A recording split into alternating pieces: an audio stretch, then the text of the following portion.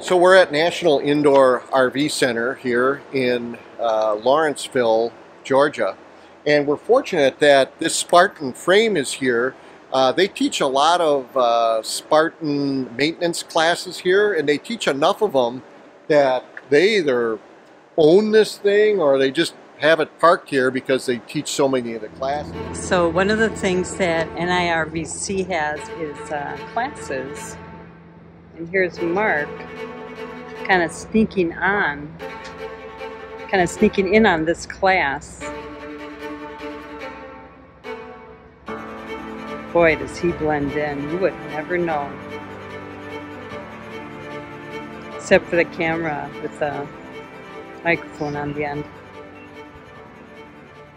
So we are going to get a uh, golden opportunity to talk about different things here. Now, I'm going to see how my uh, overflight uh, GoPro video did when I get back here. And I just wanted to talk now about a few things. I want you to see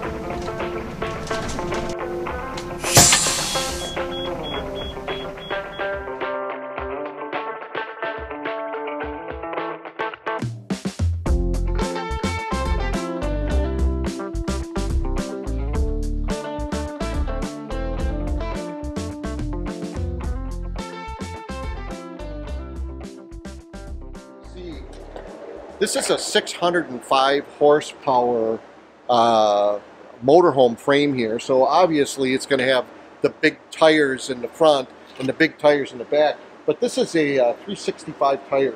Just look at look at how wide this thing is. This thing is just Wide. giant. We just had shocks put on our rig, so those shocks there are Bilstein. We had Koni shocks put on. Don't know which is better, but uh, I'm a big advocate of doing all your studying on irv2.com. And as far as Newmar products, my disciple is a guy named Dutch Star Don. Don't know if he watches the channel, but Don, I can tell you that if you told me to go jump off a cliff, I would. Okay, so on this Spartan frame, the only thing I don't like is I don't like their seating. On the Newmar, much, much better. A little cozier, yeah. Yeah. What's nice when you look at a frame like this and you go, what's in this secret little compartment on the side here? And you see that there's all sorts of information cables and airlines and electric lines and different things here. But on this side, this side has these hoses that are for the fuel. And there's another one for the fuel. So you can see how the, the uh, hoses are segmented. So, you know, if you ever have to troubleshoot this thing and you ever had some issues, and you can peel these things open, you know, you would have to crawl into bays and reach up here.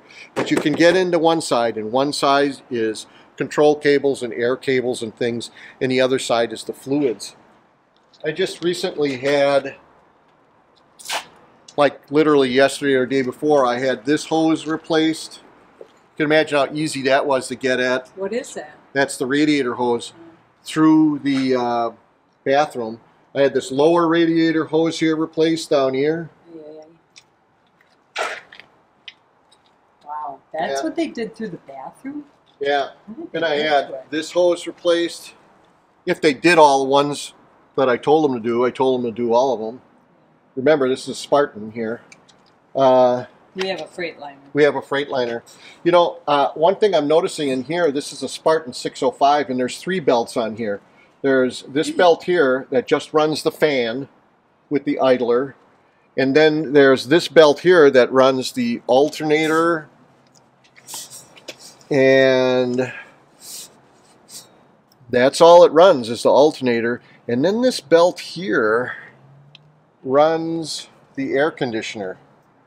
Yeah, so they have three belts. I only have two. Uh, this thing's really bomb-proof looking compared to mine. Uh, that's the uh, extra radiator water. Here's your DEF, diesel particulate filter. One thing nice about Spartan is this side compartment. You open it up and everything you need is there. Here's your air dryer filter.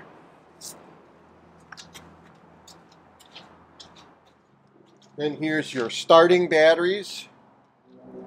The nice thing about the Spartan, this filter here for the air dryer, for the air system, for the air brakes, on mine, let me show you where it is. On mine, it's sitting like right up here somewhere. Remember, my motor home is on top of here. The guy has got to be a circus contortionist to be able to get in there.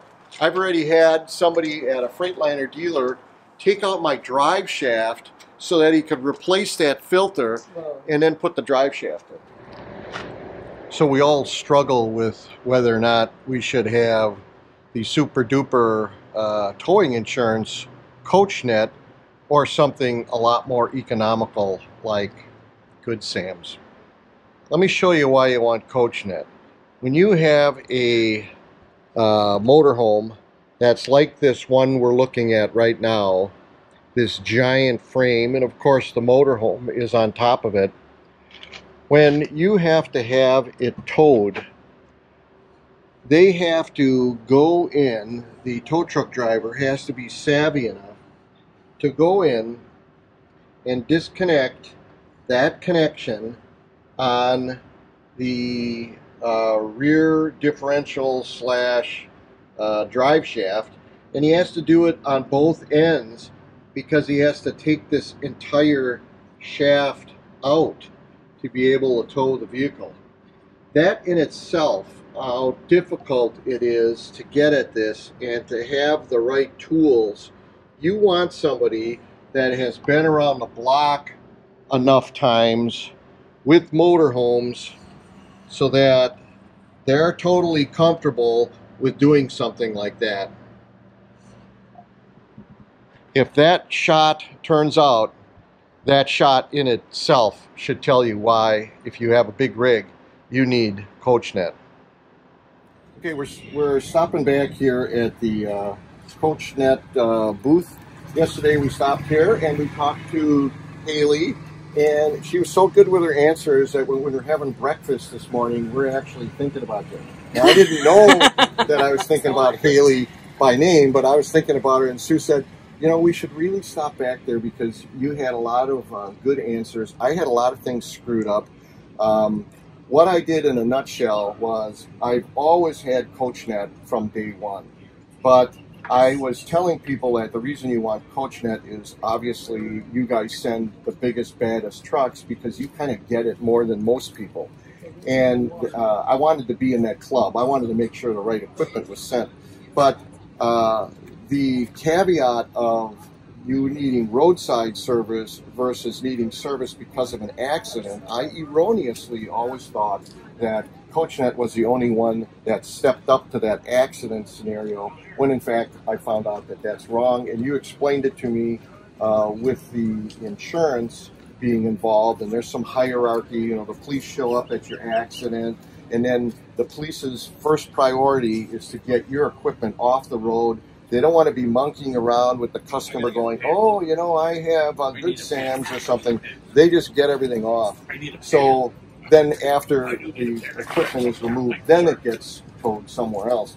So uh, could you help clarify, you know, what I just set up here, what I had wrong? Definitely. So in that situation, it is always the police who are going to like take over um, mm-hmm. because they're not going to wait Thank around you for your much. roadside company. They're going to be like, no, we're getting someone out immediately. We're going to um, we're going to get that taken care of. Um, and they don't really give you a chance for that. And so what happens is is um, when you end up having to pay for the tow bill, you have the option of going to your insurance company and saying, hey, will you guys reimburse this? Mm-hmm. And a lot of times it's either not in your benefits or they're not going to reimburse it for whatever reason possible. Mm-hmm. CoachNet does have a benefit where um, if we do have an insurance denial letter that says, no, we're not going to pay this, we do reimburse up to $500. So you do have a backup plan. Right. Unfortunately, we just can't take a super decision of the police. Right. So, so as the, as my backup plan, when I uh, checked again with Progressive. It was kind of ridiculously cheap to add the rider for my motorhome. You know, I don't want to say exactly what it was. It was like 20, between 20 and $30. for this giant 45,000 pound motorhome. And then it was nominally maybe about $10 to hand add it for my Honda. So I certainly did that. But the other advantage of your uh, towing insurance company is, is you don't play the game of you're 100 feet off the road. You know, you may or may not have somebody be able to come out to your campground to be able to pull you out. I mean, I, I can't tell you how many YouTube channels we saw where somebody's being pulled out by other campers with other 4x4s, and you're wondering, like, how come the tow companies aren't showing up? So, yeah. uh, your company does that, and also when you uh, drive the coach from a breakdown to a facility, you don't play the game that you'll only float, you know, go 20 miles or something, right? Yeah, exactly. So, where are you going to most likely experience a breakdown? In a campground, in your driveway. Like, you're going down the road, you blow a tire, that does happen, but you're more than likely going to wake up and your slides are not going to go in, your awning is not going to retract, or you wake up and you have a flat tire. So that's where CoachNet comes in, and we will send mobiles, we'll send tow trucks, we'll send winch trucks out directly onto you on site. Mm-hmm. Um, as long as we can, as long as we can access you, we're yeah. going to get to you. So yeah. we don't have that. Oh well, you're in a national park and it's 100 feet off. I maintain It's always going to be off. Hmm. So, Let me look at my list of reasons why I won't come and, and uh, deliver on your service. So, yeah, so what what is the uh, CoachNet yearly rate right now? Um, for a motorized package, um, it's two forty nine uh, to sign up and one sixty nine renewal rate, so your rate does go down. Okay. And for our towable package, it's one seventy nine to sign up and then one forty nine every year after. Again, okay. it's not like oh sign up for sixty dollars and the next year it's like two hundred dollar renewal, you know. So your rate stays low. That, I think we got nice. all our questions answered. When Sue and I are having breakfast tomorrow, if I'm still thinking about Haley, we'll stop at. We'll be back. Either that or I'm going to be in trouble. Thank you, Haley. Appreciate it. So here we go. This is a GoPro fly through of a Spartan K3 uh, chassis for our motorhome. Typically uh, about a 42 to 45 footer of the 605 horsepower motor. Uh, the last fly through I did was actually a Freightliner frame. I did that on February in 2020, and it's episode 104 if you're interested to see that. This frame comes with the Michelin 365 uh, tires in the front. Those are literally the widest and biggest, baddest tires you can get on a motorhome. And if you look at the thickness of the steel on all of the bracketry here and the linkage of these uh, front end components, you can appreciate how heavy duty it is. And that's why a lot of folks that are optioning out and ordering their motorhome will choose, in fact, to specify the Spartan K3 because it's rated to pull 20,000 pounds.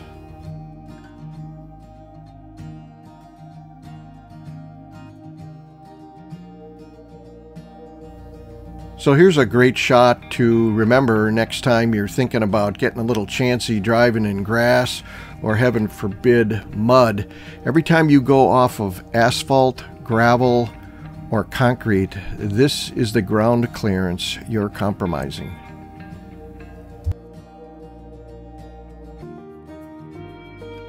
You're going to see some canisters here that are attached to the linkage right there, was square on the screen. Uh, that's the mechanism that locks the tag axle in place when you're going forward after you're going a certain speed and will uh, not allow them to flop around when you're going down the roadway. And it's only when you're going very slow that those uh, canisters will unlock and allow the rear tag axle to swivel. I have to hand it to Spartan those two cabinets that we just passed by are arranged so much better than the Freightliner one. It's, uh, it's almost comical. Uh, everything here is laid out, I think, better on the Spartan. A lot easier to dive into the back of that engine to work on it. Here you'll see that there's a DEF fill on the driver's side as well as the passenger side.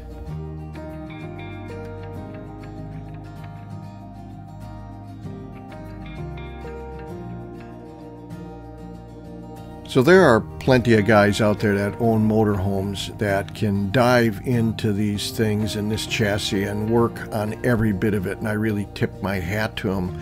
For the rest of us, like me, that has to go to a repair facility, you want to go to a place that has the ability to have the staff to work on this thing and to be able to understand what they're going after.